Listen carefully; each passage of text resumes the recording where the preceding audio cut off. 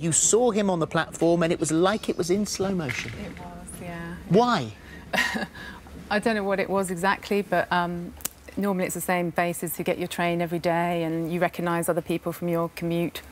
And then just one day there was this, this new man walking up the platform and he was beautiful and, and I thought, he looks lovely and... And so you started to make a bit more effort, put I a bit more did, makeup on. I did, yeah. Put some nice clothes on, trying to sort of catch his eye a little bit. I did. I was a jeans and Converse girl before that, and then I thought, right, I'll make more of an effort in the morning. So I did. Trying Um, to catch his eye. Tried to catch his eye, but he was always in a book. He was always reading something lovely that What was he I had reading? read. He was reading A Hundred Years of Solitude by Gabriel Garcia Marquez when I first saw him. And I thought, he seems so lovely and he's lost in a book, so he, he You, you, you thought that only someone with a good soul or good heart could be reading a book like that Exactly. because you'd read it at university. Yes, yeah. And you're talking about him at work or your workmates Yes, saying that you called him Train Man. I called him Train Man. I worked on a teen magazine at the time, and my, my colleagues were amazing. And would, I'd go into work, and they'd say, "How's Train Man today? What was he wearing? what was he wearing? Did he look up?" And it was always, "Oh no, I didn't talk to him." Well, you did have a bit of a plan because uh, you had the, you thought, thought, right, how can I get him to talk to me? And you thought, if I drop my ticket Yeah. sort of at his toes, Yeah, a canny friend gave me that advice. yeah, he's got to pick it up and return it, Yeah. and then conversation will flow. Yes. Not quite what happened. Not quite what happened. I dropped my ticket. It sat on the floor for what felt like an excruciating amount of time.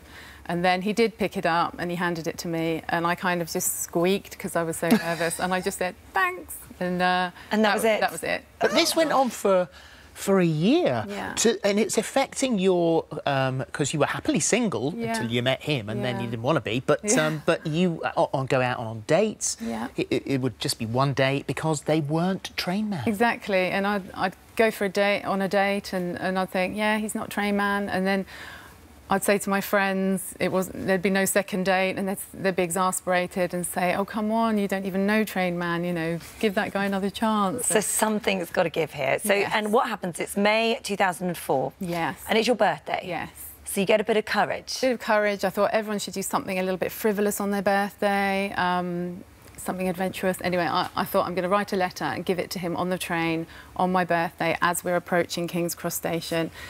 Walk off once I've given it to him because I don't want to stand there over him when he's opening the Yes. letter. The It note. said, "It's my birthday, and I think everyone should do something frivolous on their birthday, and this is my thing.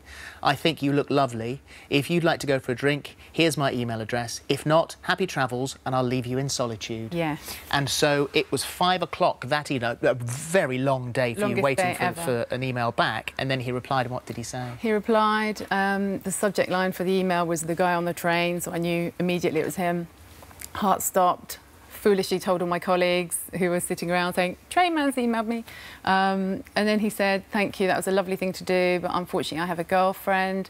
But um, happy birthday, and that was such a brave thing. Still I'd so never nice. have. I'm yeah. going to read. You, I'm going to read what he said. The actual word for word what he said. Thank you. That was a lovely thing to do. I'd never have the guts to do something like that, but unfortunately, I have a girlfriend, and I don't think she'd like it if we went for a drink. Mm. Happy birthday. Hope you have a nice day.